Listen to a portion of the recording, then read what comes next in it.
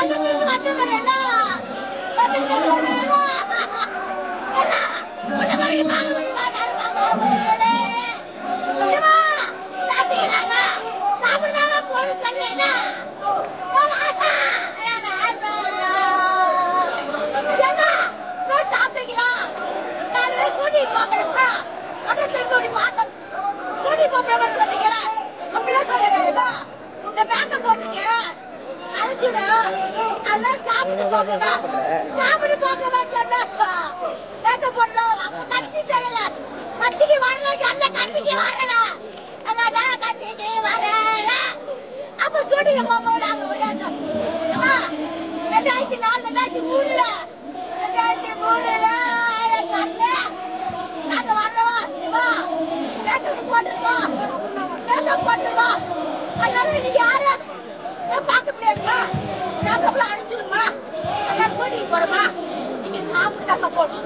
நாம பார்த்து போறோம் ஏமா அப்ப நின்று அது ஒரு வேலை போஸ்ட் பண்ணாருல நான் நிறைய போட்டோ எடுத்தாரு ரெண்டாயிரத்தி மூணுல. ரெண்டாயிரத்தி மூணுல. என்ன நீங்க அத்திய வாடா.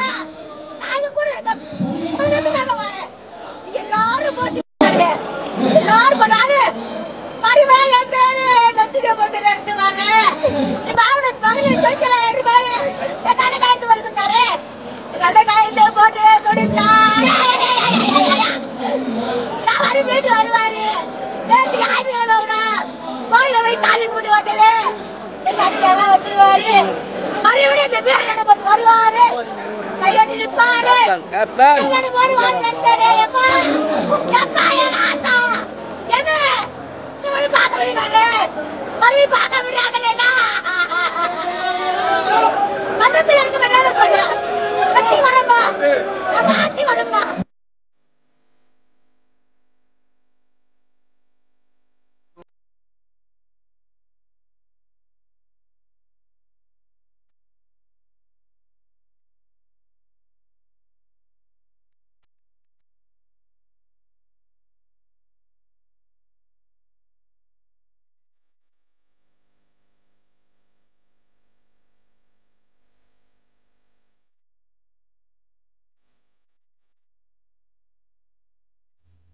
என் இனிய நண்பர்களே தோழர்களே உங்கள் பாஸ்தர்களை பேசுகிறேன்.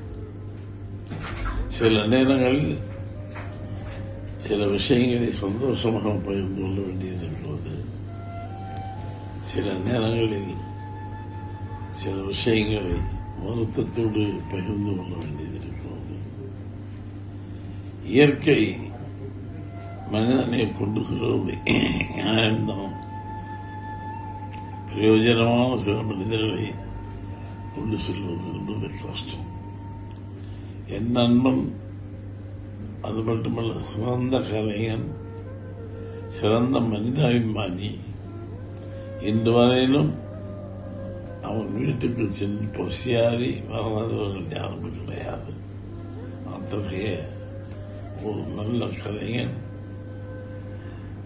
பல நாட்களாக எந்த விதமான மூமெண்ட்டும் இல்லாமல் இருக்கும்போதே தமிழ்நாடு முழுவதும் மட்டுமல்ல உலகம் முழுவதும் வருத்தப்பட்டது. ஏனென்றால் ஒரு நல்ல கலைஞன் எப்படி இது மாறிவிடக்கூடாது நினைத்தும் எது நடக்கக்கூடாதோ அது நடந்து விட்டது என்றாலும் அவன் வீட்டுக்கு சென்று சாப்பிடாதவர்கள் கிடையாது. அவன் வீட்டுக்கு சென்று அவனை தரிசிக்காதவர்கள் கிடையாது.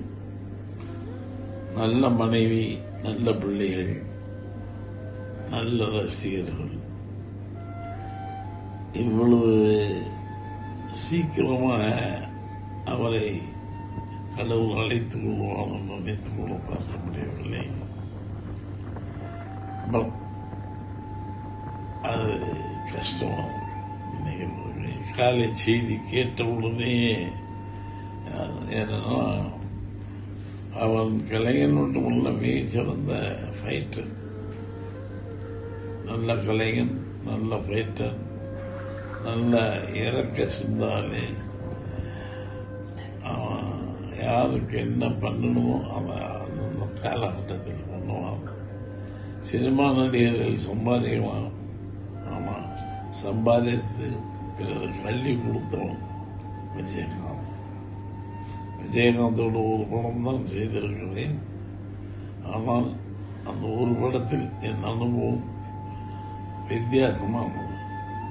விஜயகாந்தோடைய படம் ஆனால் அவரோடு நடித்து அவரோடு பழகி பார்த்தவர்களுக்கு தான் தெரியும் அவன் எவ்வளவு பெரிய மனிதன் என்று. அத்தகைய மனிதன் மறைவு என்பது தமிழகத்தில் மட்டுமல்ல உலக தமிழர்கள் அத்தனை பேருக்கும் ஒரு பெரிய இழப்பு.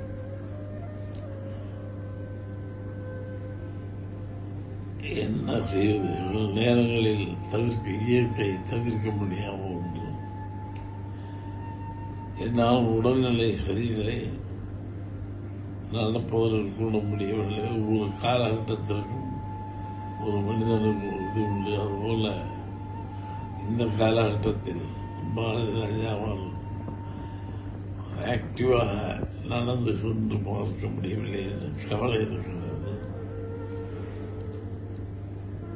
விஜயகாந்த் வெற்றிப்படி நாட்டியம் விஜயகாந்த் தம் நடிப்பால் உயர்ந்தவன். விஜயகாந்த் மனித தன்மையாக உயர்ந்தவன். அவருடைய ஆத்மா சாந்தி அடைய அவர் குடும்பம் ஆத்மா சாந்தி அடைய நான் எல்லாம் என்னுடைய வருத்தங்களை எல்லாம் தெரிவித்துக் கொள்கிறேன். அவருடைய ரசிகர்களுக்கு நான் கூறுவதெல்லாம் நீங்கள் எதையும் செய்ய வேண்டாம். விஜயகாந்த் மனிதர்களுக்காக என்ன செய்தாலும் அதை செய்தாலே போதும். நீங்கள் அவர்களுக்கு கொடுக்கின்ற ஆத்மாவாகும். ஆத்மா சாந்தி அடைய நான் கடவுளை பிரார்த்திக்கிறேன் எல்லாருக்கும் மானது தான் எனக்கு அது ரொம்ப தீரமானது தான் காலையில் கேள்விப்பட்டதுமே ரொம்ப கஷ்டமாக இருந்துச்சு. அவர் எப்படியாவது மீண்டு வந்துடுவார் வந்துடணும் அப்படிங்கிற ஒரு வேண்டுதல் தான் இருந்துச்சு ரொம்ப பெரிய துயரமானது தாங்க அவர் சாரை வந்து நான் வந்து ஒரு இருபது வருஷத்துக்கு முன்னாடி நடிகர் சங்கத்தில் இருந்து பார்க்க ஆரம்பித்தேன் அவரோட படங்களில் நிறைய படங்களில் ஜூனியர் ஆர்டிஸ்ட்டாக நிறைய படங்களில் ரெண்டாயிரத்தி நாலுக்கு அப்புறம் உள்ள அவர் நடித்த எல்லா படங்களையுமே ஜூனியர் ஆர்டிஸ்டாக நான் நாங்கள் நடிகர் சங்கத்துலேருந்து போவோம். ஆஹ் அவர்கிட்ட ஒரு ஒரு க ஒரு கம்பீரங்க அவர் அவர் ஒரு ஒரு நேர்மைங்க அவர். அது போயிடுச்சு. ஒரு தைரியம் இருந்துச்சு. ஒரு தைரியம் இருந்துச்சு. ஏதாவது ஒன்றா கூட ஒரு நடிகர் சங்கத்தில் வர ஒரு சம்பளம் கூட போய் கிட்ட போனால் கூட என்னவா அப்படின்னு சொல்லி கேட்கக்கூடிய ஏதோ சொல்ல வந்துட்டான்னு ஒதுக்காமல் இங்கே வா என்ன சொல்ல வரேன் அப்படின்னு அதை யாராக இருந்தாலும் கேட்பாரு. அந்த ஒரு மிகப்பெரிய ஒரு தெம்பு பலன் அந்த- ஆரம்பத்தில் ஒரு எந்த ஒரு பின்பலமும் இல்லாமல் வர்ற ஒரு நடிகர்களுக்கு வந்து என்ன எனக்கெல்லாம் அவர் அதெல்லாம் இருந்திருக்காரு அவர் இறப்புங்கிறது ரொம்ப மனசுக்கு கஷ்டமான ஒரு விஷயம். சினிமா இருக்கும் வரை அவர் புகழ் நிலைக்கும். அவர் அந்த அளவுக்கு வாழ்ந்து காட்டியிருக்காரு. அதை உதாரணமாக நிறைய பேர் இன்னும் வர்றவங்க எல்லாம் எடுத்துக்குவாங்க. அந்த அளவுக்கு ஐயா வாழ்ந்து தான் போயிருக்காரு என் பேர் கலையரசன் கண்ணசாமி. டவுன் பண்ணுங்க கொஞ்சம். ரொம்ப ரொம்ப அதிர்ச்சியாக தான் இருந்தது. ஒரே வார்த்தை தான் சொல்லணும். அவ- அவர் செஞ்ச தர்மம் அவரோட வீரம் தைரியம் இன்னும் க- காலம் பூரா வரலாற்றில் பேசும் நினைக்கிறேன். கண்டிப்பாக பேசும் நடிகர் சங்க தலைவராக இருந்தாலும் ஆமாம் ஆமாம் ஆமாம் நானும் ஜூனியர் ஆர்டிஸ்டாக தான் இருந்தவன். நான் நான் மெம்பரில் ஒரு மூணு வருஷம் இருந்தவன். அவரை நான் அவர் ஷூட்டிங்லேயே நான் நடிச்சிருக்கேன். நேர்லேயும் கேப்டன் சாரை பார்க்க நேரில் அவரோட இது பா- பார்த்துருக்கேன் நான். நான் என்ன கறி சாப்பிட்றேனோ அங்கே தான் பெரிய ஆர்டிஸ்டும் சாப்பிடுவாங்க. கேரமில் இருக்கவங்களும் சாப்பிடுவாங்க. அந்த மாதிரி ஒரு வழிவகுத்தவர் அவர். அதுதான். அது நீங்களே பார்த்துருப்பீங்க. அவர் அவரை பற்றி ஏதாவது ஒரு பேட் கமெண்ட்ஸ் அதாவது ஒரு அரசியல்ல இருந்து கூட அவரை பற்றி இதுவரையும் பேட் கமெண்ட்ஸ் வந்ததுனால எல்லாத்துக்கும் நல்ல மனுஷனாக இருந்தது ரொம்ப அரியுது அவர் அப்படிப்பட்டது அது அபூர்வமான ஒருத்தர் தான் சார் கேப்டன் சார். ஜூனியர் ஆர்டிஸ்டாக நீங்கள் இருந்துட்டு ஆமாம் எப்படி நடத்துவார் அதுதான் சொல்கிறேன் நான் சிம்பிளாக சொல்லிட்டேன் நான் சாப்பிட்ற கறி தான் பெரிய ஆர்டிஸ்ட்டும் சாப்பிடுவாங்க. ஏன்னா திரைப்படங்கள்ல வந்து ஆர்டி பெரிய ஆர்டிஸ்ட்டு ஜூனியர் ஆர்டிஸ்ட்டுக்கும் ஒரு சாப்பாடு இருக்குது அதெல்லாம் வந்து விஜயகாந்த் சார் படத்தில் இருக்காது ஒரு நடிகர் சங்கத்துக்காக கடுமையாக உழைச்சாரு. ஆமாம் ஆமாம் இப்போ இப்போ வந்து அவர் மறைஞ்சிருக்காரு. இருந்தாலும் கண்டிப்பாக அதுதான். அது அது நடிகர் சங்கம் முடிவு பண்ணுவாங்க. ஏன்னா அவங்களும் சாதாரணமாக விட்டுற மாட்டாங்க. ஏன்னா உலக அறிஞ்ச விஷயம் தான் நடிகர் சங்க கடனை கட்டி இவ்வளோ தூரம் கொண்டு வந்து ஒப்படைச்சிட்டு தான் போனார்.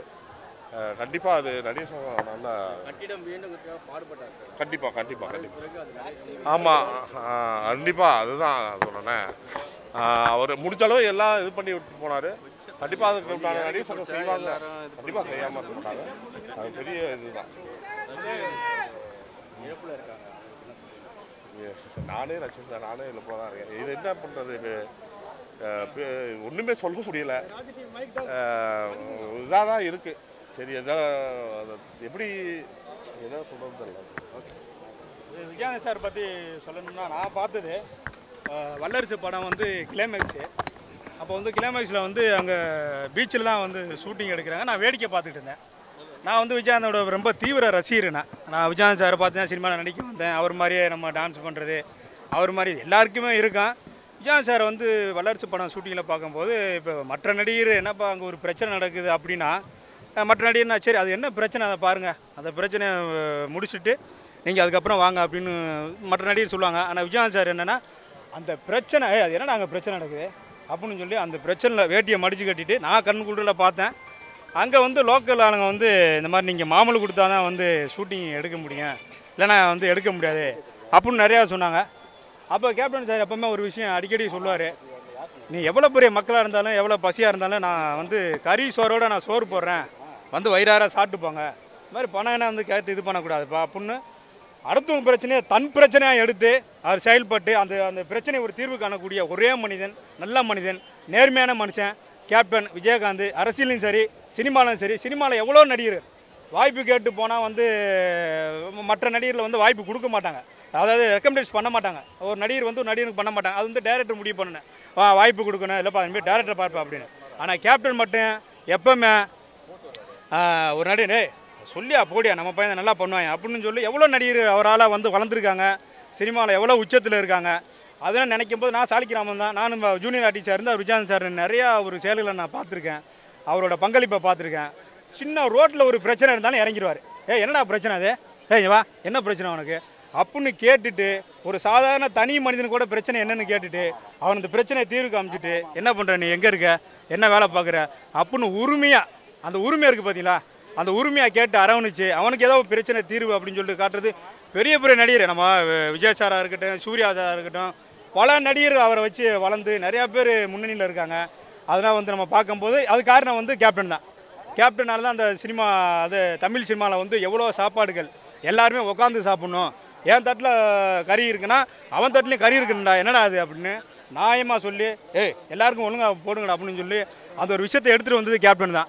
என்ன கேப்டன் வந்து தமிழ் சினிமாவிலும் அரசியலும் வந்து பெரிய இழப்பு வந்து பெரிய ஒரு பீர ஒரு பேரிழப்பு. ரொம்ப மன வருத்தமாக இருக்குது நான் டெய்லி நடந்து போவேன் கேப்டன் சார் வீட்டில் அப்படி போகும்போது வீட்டை பார்த்துட்டு இப்படி கையெழுத்து கும்பிட்டு தான் போவேன்.